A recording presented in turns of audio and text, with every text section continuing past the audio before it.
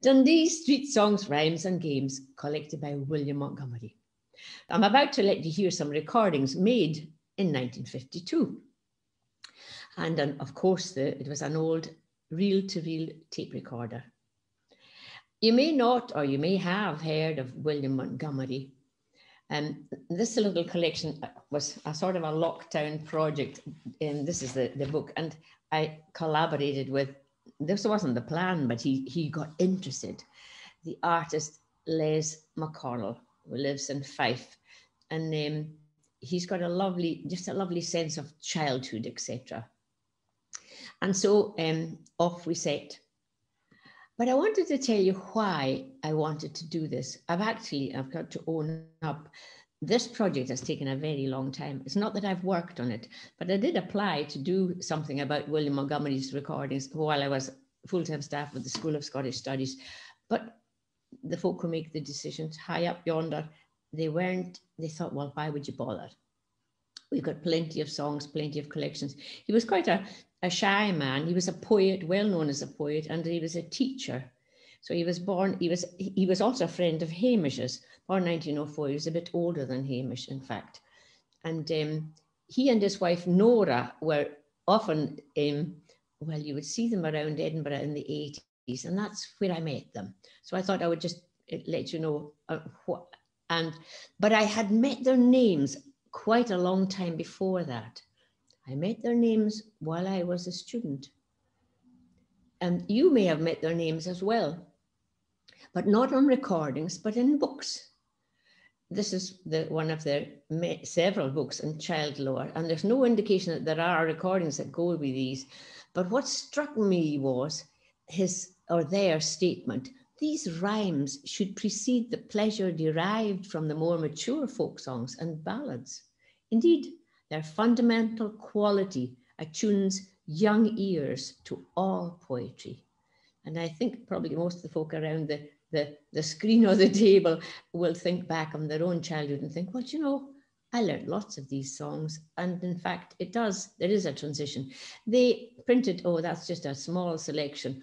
But I think it's worth mentioning that when they did so, they started in the 40s publishing, the first one was 1946, there wasn't a single publisher in Scotland that would even look at it. And so Norah, who's from London, and she'd gone to College of Art in London, and she um, she was so keen on Scottish nursery rhymes because her grandmother was a Dundonian, born and brought up in Dundee, and in the very depressed times had gone to London just to get work as a servant and in fact had, had settled and, and married there, etc. And she used to spend time with Norah when she was a little girl. And Norah um, loved the sound of the rhymes. And so that stayed with her.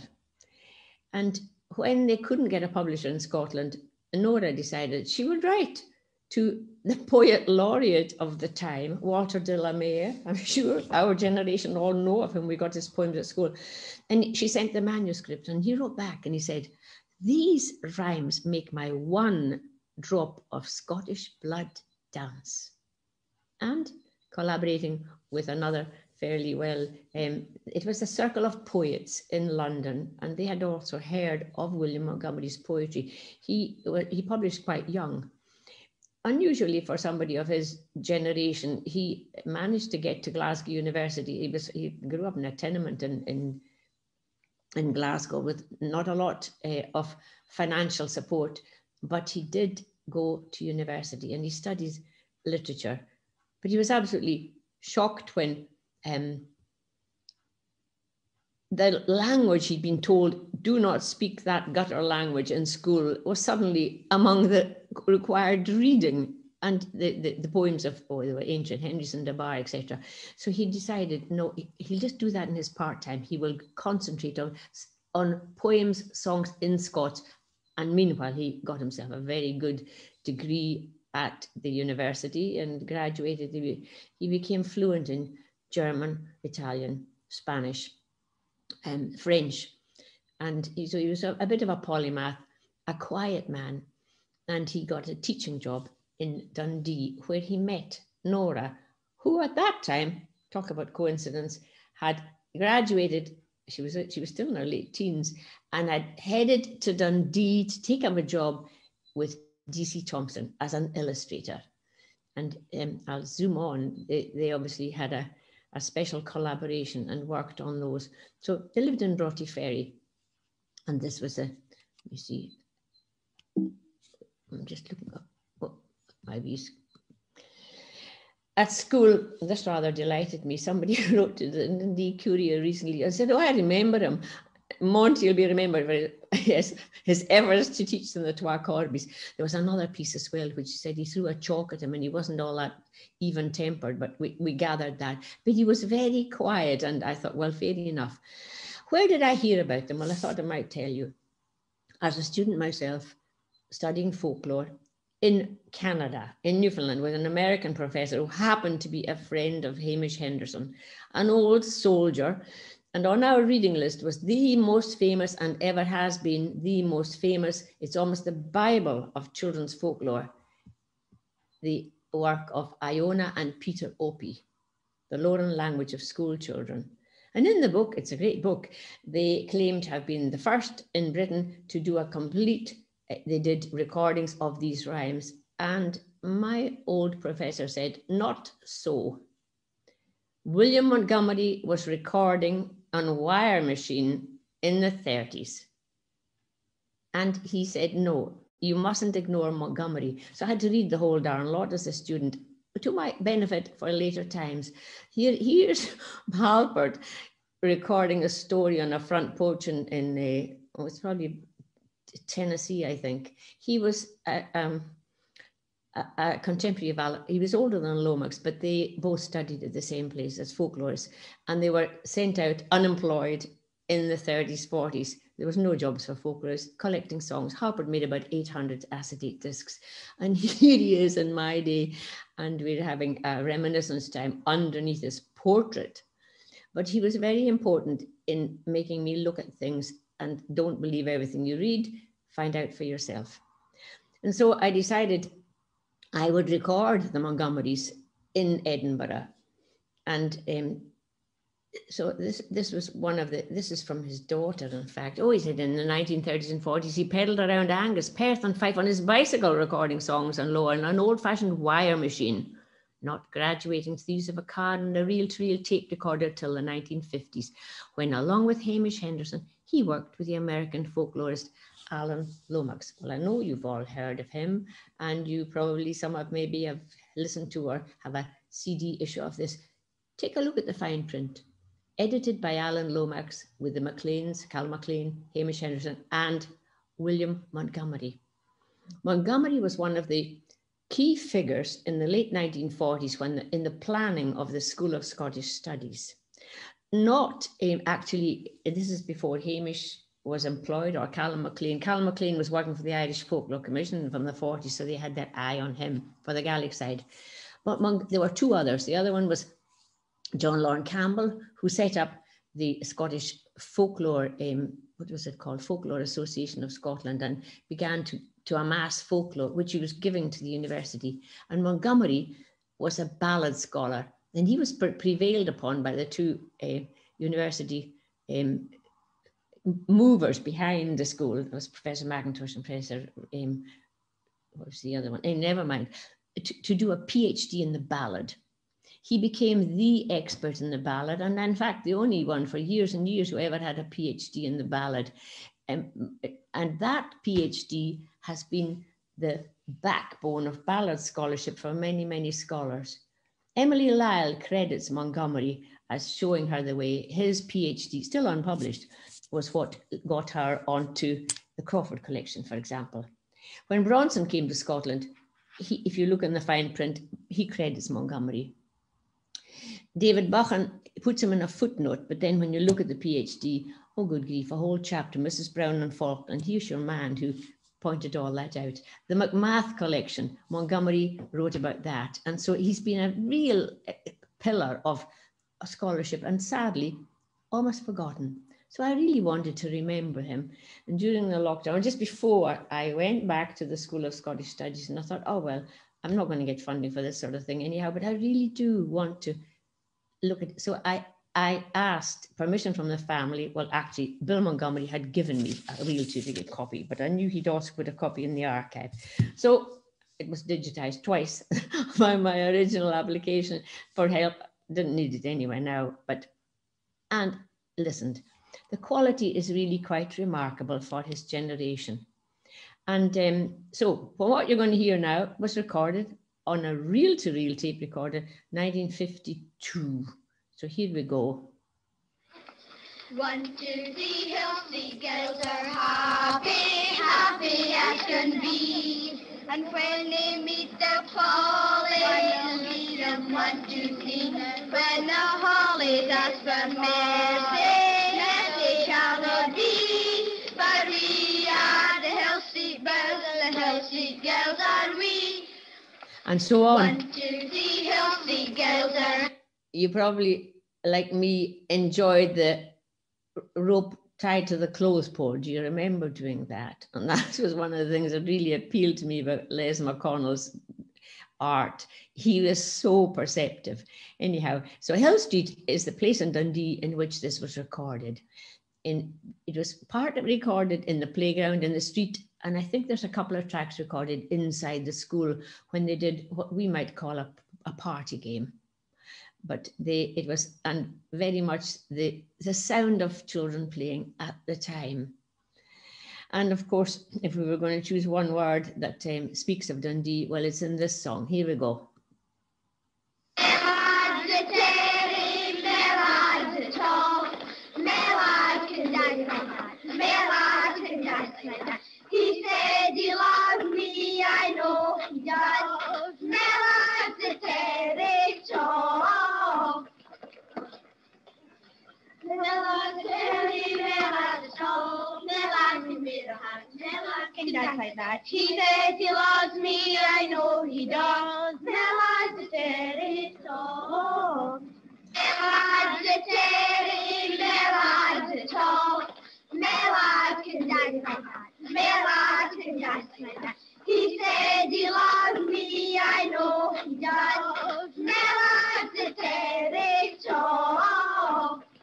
Now, I wouldn't expect everyone in the world to know what in the world's a Terry. So I'm going to say this for Richard, who's on the other side of the ocean. A Terry is somebody who belongs to the Territorial Army. Originally was a part-time army. And, and Dundee, which is where these children are, is a, is a city where there's a huge barracks and parade ground.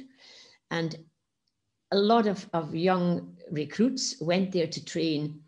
But it's also the centre of of, of Scotland's medical army training corps. So if you've got a boyfriend among that, I'm telling you, that's quite a status symbol. You know, it's the guy, it's the guy with the Mustang car. Is this guy? My, lad, my lad's a Terry, or he's in the territorial army. So he's just not nobody. He's somebody. And these children, I should have really mentioned, they all grew up in the surrounding areas. It's now what an area which, well, it's been demolished actually.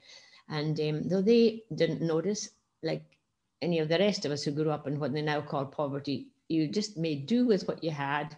And very few of them knew what it was like to have brand new everything. A bicycle, what's that? That's in a catalogue. So that's the background to Male as a Terry and May for my. Um, there's some familiar songs that you think, oh, well, gosh, me, they sang that as well. Interestingly, know, one cannot be sure if, in fact, they had dozens of other verses and Montgomerie switched off the tape. Because that sometimes happened with early collectors. A, he was buying the tape himself. B, these reels were only, well, 20 minutes long, or you had a, a, for a five inch reel at three and three quarters. But if you were playing it faster, it, it was it was not a long se session. So they so I'll just play you a little bit of it, and this will be recognizable to you, I'm sure.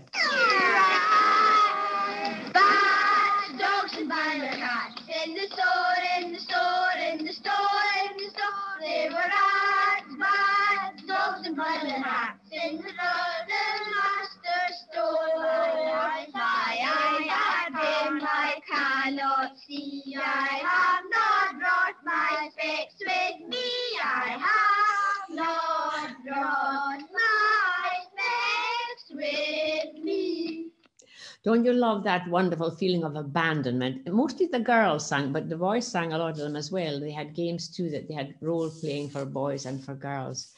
One of the things that I noticed, oh, in fact, in the over, well, let's say over a period of 20 years, in my folklore classes at the conservatoire or SMD as it was, I always I begin with child lore and I'll ask uh, a whole lot, um, I'll spring a song on them I say, Did you know this one?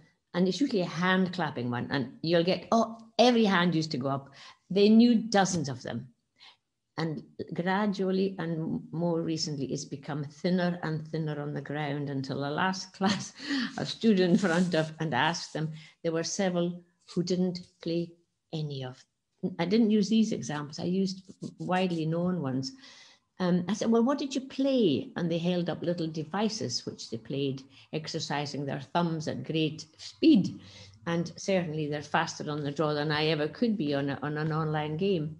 They're also a lot heavier than we were at that age, as in not heavier in, in mood, but heavier in um, in weight.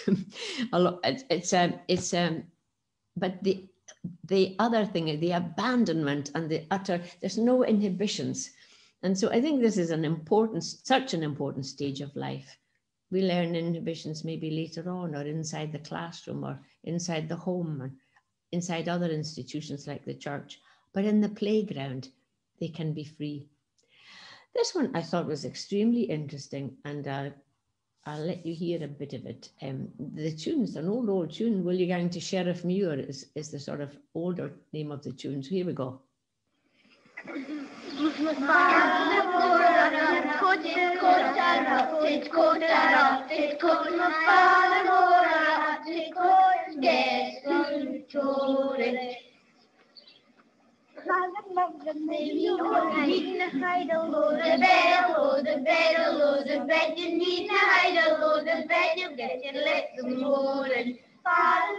Maybe go, maybe go, maybe go. Father, mother, maybe go.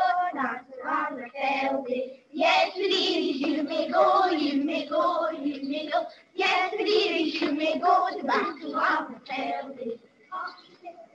go, we go, we go, and we go, back to and back come, back come, back come, and back come, back to family. And as the car goes by, you can hear more. There's more. I'll just race through. You didn't ken what we saw. We saw a lad that danced in his kilt on the banks of Aberfeldy. You didn't ken what we got. We got, we got we got a kiss and a golden ring on the banks of Aberfeldy. Well, Aberfeldy, there's no such thing as the banks of Aberfeldy. There's the Birks of Aberfeldy on the map, but there's no banks. Aberfeldy is the town where the Black Watch, our oldest kilted regiment, was first um, created. And in fact, there's a big link with Dundee. Um, so the lad that danced in the kilt probably was a soldier in the Black Watch. And you can draw whatever conclusions you want from the rest. You didn't again what we got a kiss and a golden ring on the banks of Aberfeldy. Um, it's an, I, I would be interested to know if anybody else has that song. I've never heard it anywhere else except Dundee, but of course, there we go. It could be way out there. I, who grew up in Skye, maybe just missed out altogether. This one will be familiar pretty well to everybody, but um, there's a there's a wee verse in this which I hadn't actually heard in, many, in maybe anywhere else. It's it, this one appears in the wee red book that we all know and love, but not entire version. So I'll let you hear them. Um, Queen Mary, and there's a sort of lovely gallousness with this. Um, Queen Mary, Queen Mary, my age is sixteen. My father's a farmer in yonder green. He's plenty of money to dress me in silk, but the money laddie will tuck me a while. No, no, tuck me a while. No, no, tuck me a while. No, no,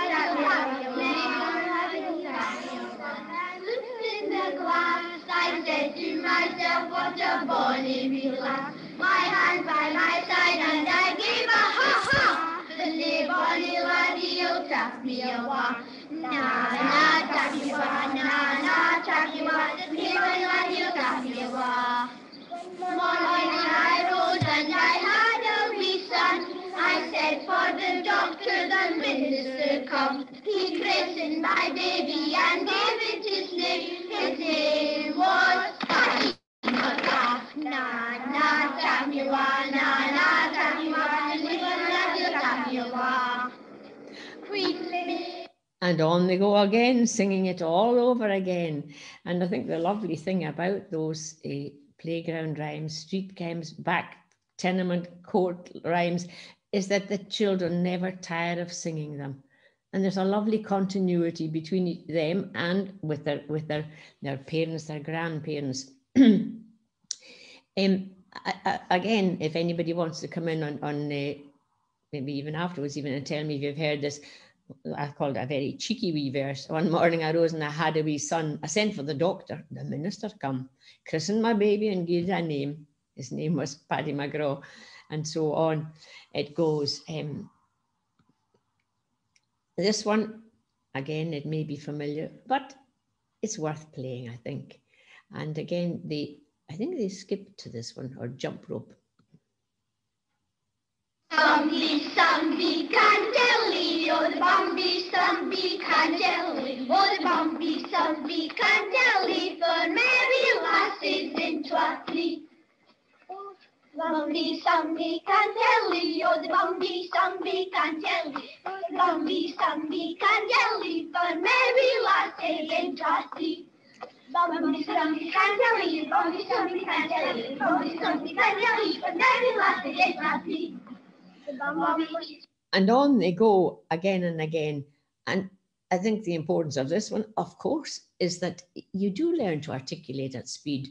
The previous one, Queen Mary, you could hear every word in unison, and the articulation is. a speaker, somebody who, who listens to singers, and probably sometimes you do speakers as well, and you can't make out much of what they say because it's mumbled or it's just not. And if one teacher I've ever heard say, speak clearly, um, nobody was telling them that. They did it themselves and they did it with great joy. I thought I would, in case you haven't met him and wonder, who's Les McConnell who's doing these drawings? This is Les McConnell. He lives in Kinghorn in Fife. He's an art teacher, a retired art teacher who just has a, a wonderful perception of what it was like growing up in the 50s. Um, a lot of us can remember that. But he remembers too. What was it like growing up in the 50s?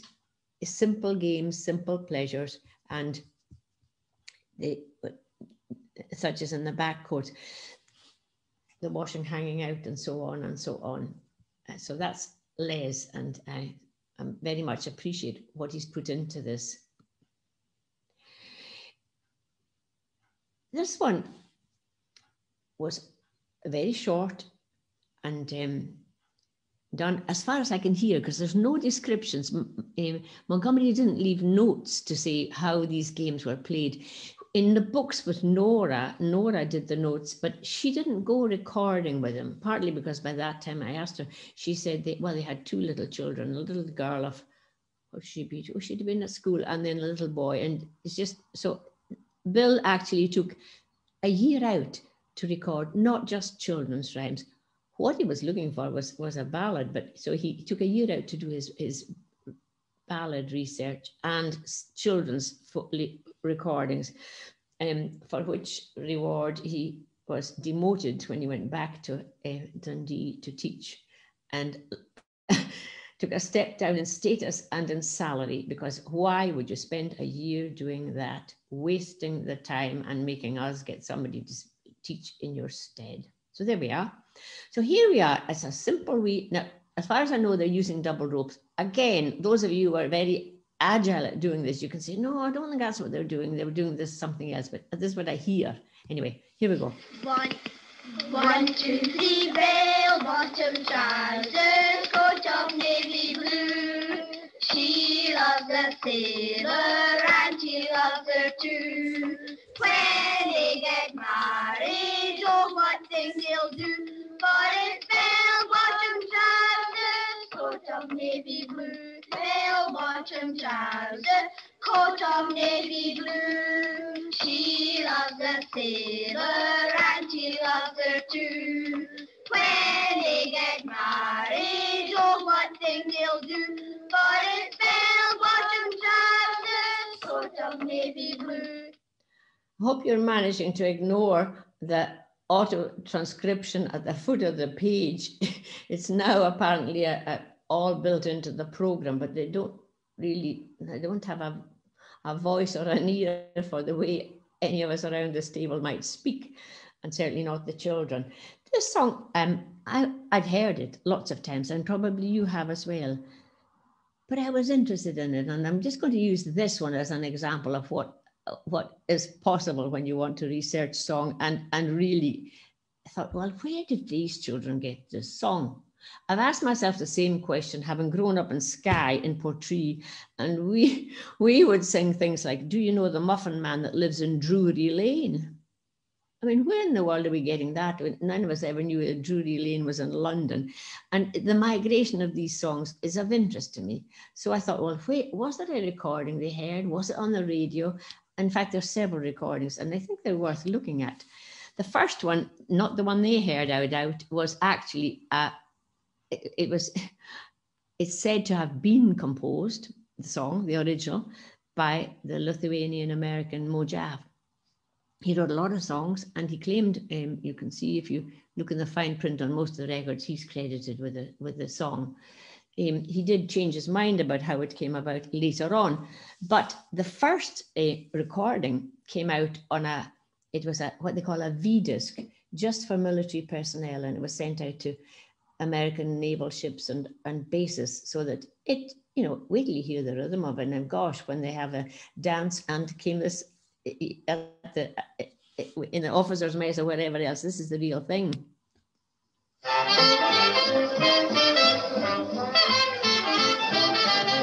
Once there was a little girl who lived next door to me, and she loved the sailor boy. He was only three.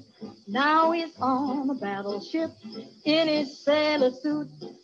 Just a great big sailor man, but he's just as cute. Bare bottom trousers, coat of navy blue. She loved the sailor boy, and he loved her too. Yes, it's got that sound about it, and you know that was the dance of the time, the era. But then that was a limited edition. It came out in Columbia after that, and then a, a Canadian a band. He was called Guy Lombardo and his Royal Canadians. They, I think, uh, souped it up, and it certainly it. This one, this really, really went to town. This one was on the hit parade. Everybody danced both sides of the Atlantic. The Foxtrot with a chorus by Jimmy Brown and the ensemble. This is what this one sounds like, and it's got a much more marching band sound.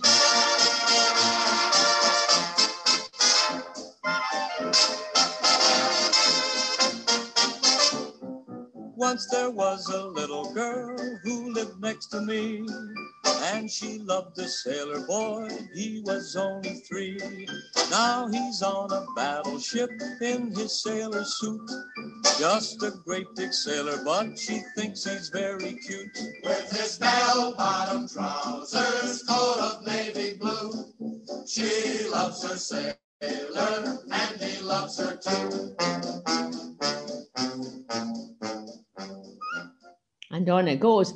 It's still got the same cutesy pie lyrics composed by Moe Jaffe. Once there was a little girl, she lived lived next door to me. She loved a sailor. He was only three. So you can just picture, oh, this is it. So it was very popular.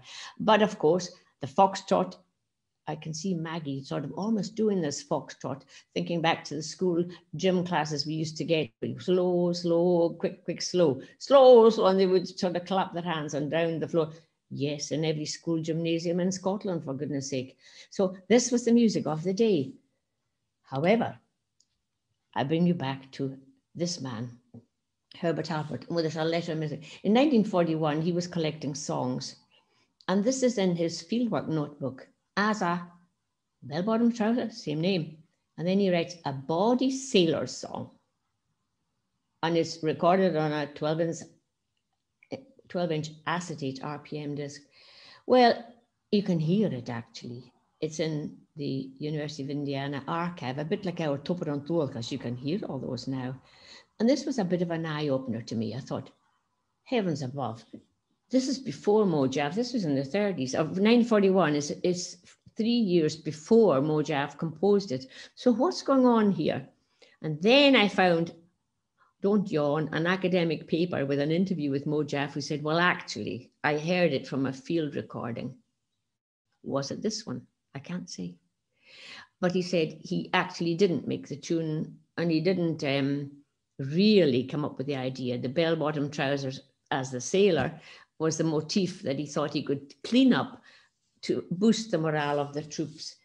And so um, it was very quickly reclaimed by, and now you may also have heard it because there's quite a number of English singers have sung it as a song that's, you think, well, we're not going to sing that one in front of Granny, is the line in our family. But here it is Oscar Brand singing it. Singing a bell bottom trousers and coats of navy blue. Let him climb the rigging like his daddy used to do. Now once there was a waitress in the Prince George Hotel. Her mistress was a lady and her master was a swell. They knew she was a simple girl and lately from the farm, and so they watched her carefully to keep her from all harm, singing a bell-bottom trousers, coats of navy blue.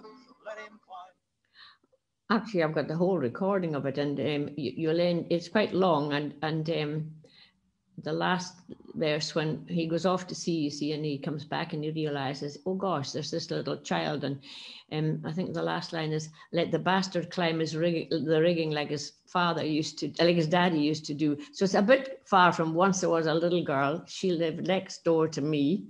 But interestingly, the tune is the same, the same liveliness about it. And where did the folk in Dundee get it? The kids. Well, it wasn't from that CD. And in fact, I was sitting them side by side, and would you believe these children in Dundee sang it in the same key as Guy Lombardo, the popular one? They sang it in the very same key, never mind the same tune.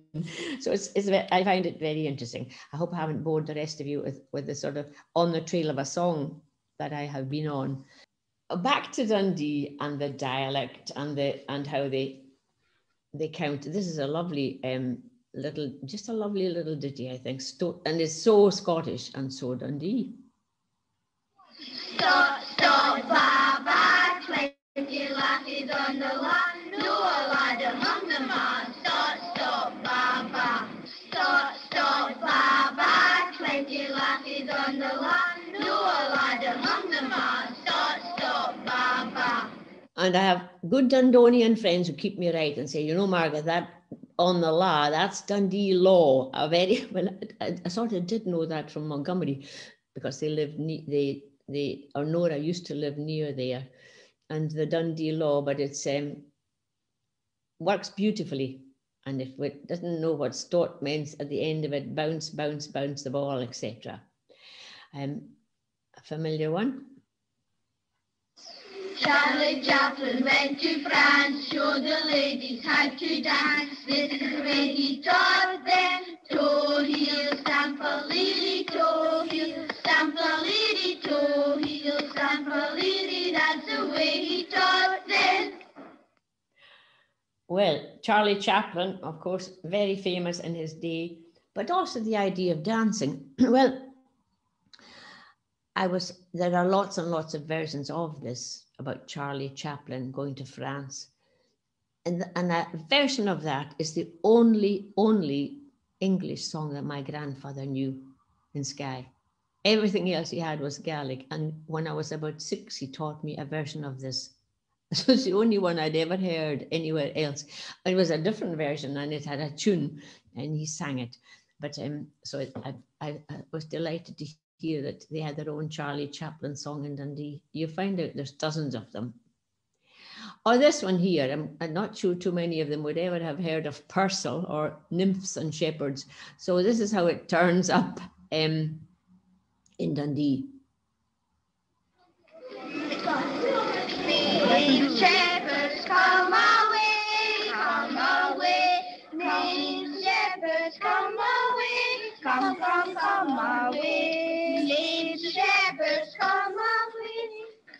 And so on.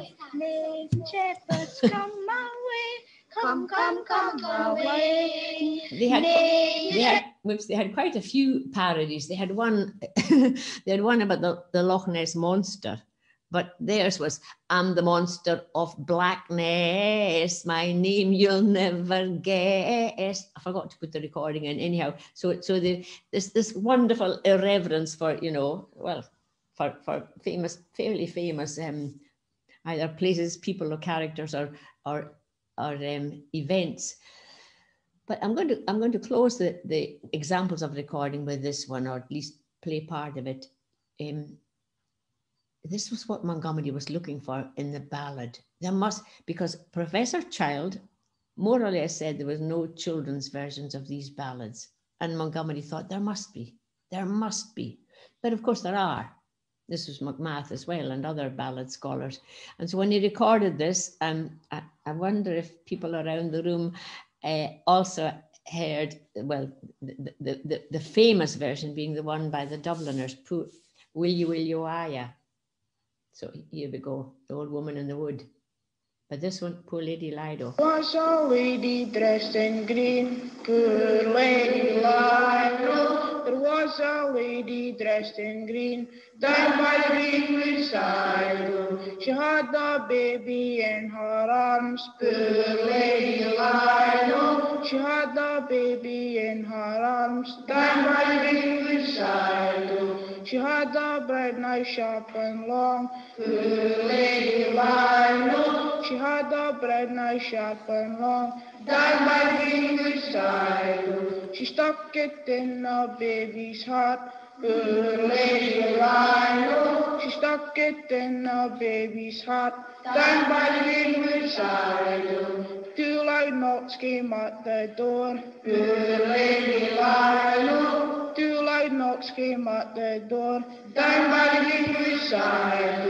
Two big policemen standing there, poor lady Lido. Two big policemen standing there, down by the greenwood side. Asked her what she'd done with the child, poor lady asked her what she'd done with the child, down by the greenwood side.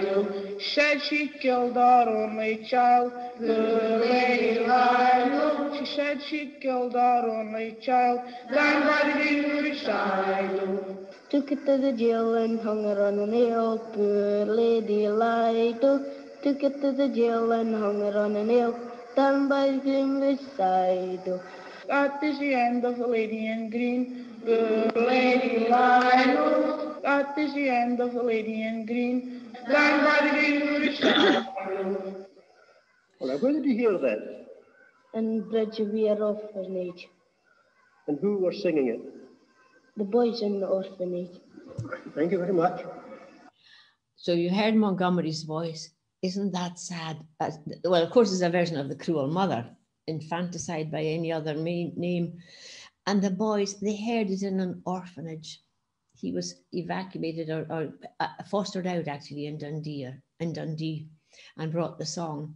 There were there was another one as well, but um, and I don't know whether the change of key and change of voice was that another boy remembered a verse that he forgot, so added it on.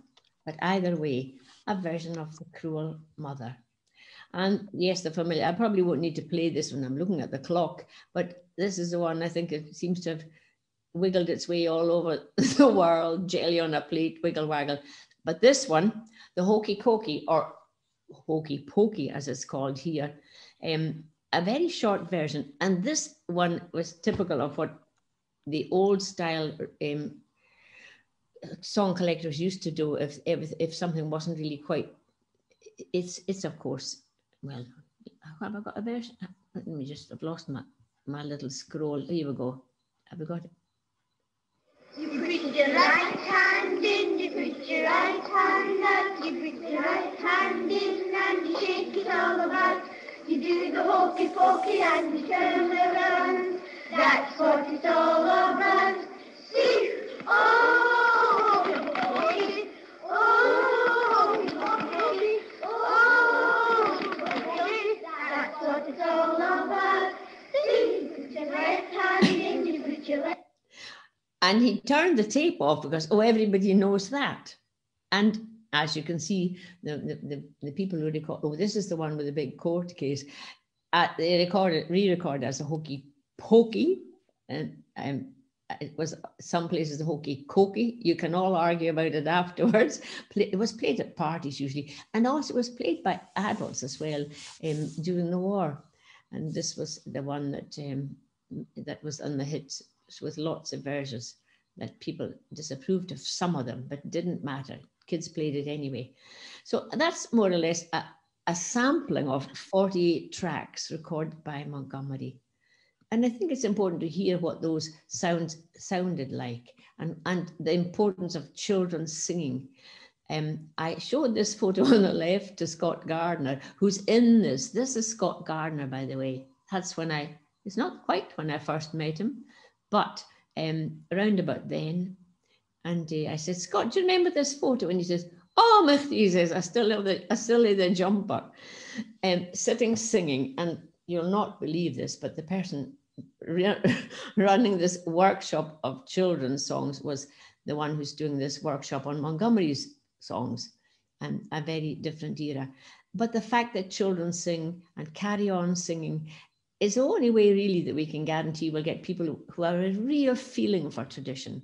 They may not cover every genre, that doesn't matter, but they will grow up secure and knowing that this is, it'll be natural to them, natural, they'll have an understanding. The book um, is, wait, now I'll tell you how long it is. Oh, it's 125 pages with plenty of notes. And it opens with an introduction on fieldwork recording, placing Montgomerie between Percy Grainger, who made the first ones, and edging on after that, Cecil Sharp, of course. Montgomerie was a correspondent of Anne Gilchrist's, which is a very, he was a very important scholar. And um, so I, I do a, a, fairly detailed introduction about about his collection. And with the book, there is a, a, a CD um, with all the tracks, the original tracks. Um, we had, fortunately, at the beginning of lockdown, the Royal Conservatoire of Scotland. I asked them if they would be interested in helping with the publication. Well, they said we could do anything in the house we liked. They liked the idea. If I could do a paper on it somewhere, I said, I don't need paid for this, but I want to get this stuff out. So they actually supported the the duplication the duplication of 100 cds for a for for a 100 book grace note publications um, you may be familiar with the man who runs that it was it was very sympathetic to the idea and felt it was an important book and i certainly do too we've got a box about i think 20 books and if anybody would like to have one you it is on amazon now but it will not arrive with a cd we have about 20 or so books with a cd and if you would like to receive one, please email Grace Note Publications. They've got a website. And um, the cost of the book and the CD and the post and package is £10. And all of the money it brings in will go directly to the Paddy Bort Fund to help musicians. I don't know if Alan McMillan is uh, from the Edinburgh Folk Club has joined us this morning, but Alan and a few colleagues there have been really doing a great job raising funds and they've already helped 75 musicians who've had a really tough time during the pandemic. The coffers aren't quite empty, but we can add a few more shillings, pounds, or whatever, and that you might enjoy the Montgomerie collection. I would be very pleased to see these boxes empty. And um, I think um, so. I'm going to stop sharing my screen. I'll take questions. Whoops, that goes in the show. Whoops, that's it. In the show. And um, I'll come back to you. I hope I can, um, okay. So there we are. I don't know if Alan McMillan is around. Alan, are you there anywhere, I wonder? And if we allow him to talk about, can't see that he is. Yes, I'm here. I'm here. Oh, there he is. Oh, it, he, I hope it's okay, Jimmy, if, if Alan mentions Yes, absolutely. The, I, I just spoke this morning, if he asked if he liked the idea, and he said, like the idea. Over to you, Alan. Yeah, well, thanks very much, Margaret. Um, and I've I've got my book. Um, no, no. it was really generous of Gonzalo and Margaret to with the 20 books for the money to go to the Paddy Bort Fund, which has been helping musicians. When he died in 2017, February, in the June, we were on a concert, a few musicians at the Queen's Hall. Margaret hosted it. And um, there was money raised, and we thought we can help musicians in Paddy's name because he was always great to musicians. The first recipient was a young uh, guitarist who broke his arm and he couldn't play, so we kind of helped him out. Um, not knowing a pandemic was on the way, so we had to think of other ways to raise money. And then, as Margaret mentioned, we've raised about up to, we went to go for £10,000. And when we attained that, we thought, well, let's go for 20, all the time giving the money away. So up to now, with the help of all the generous people, um, Paddy's family included, um, we've, uh, we've handed out over £15,000 to about 70 odd musicians. And uh, it's, it still goes on, unfortunately, but this is great. And um, it's lovely to join everybody today, see a few well kent faces. And I'm sick hearing Margaret. I hear her all the fridge on the phone and everything. But no, that was good. I got this wee call this morning to come on. But thanks very much. I've totally enjoyed it. And uh, a, a generous offer from Grace Note Publications. Great, thanks very much, Thanks, Alan. Margaret. Thank you. And um, thanks very much, Margaret. That was fantastic.